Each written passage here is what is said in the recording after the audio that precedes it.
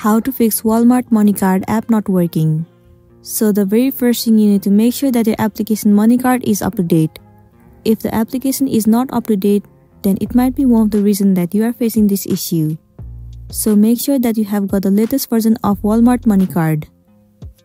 Now the next thing you want to do is simply head over to the settings of a device.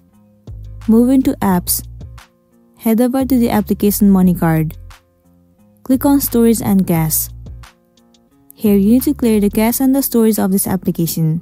Clearing the cache and the storage will remove all of the unwanted bugs. It might also fix the issue that you have been facing.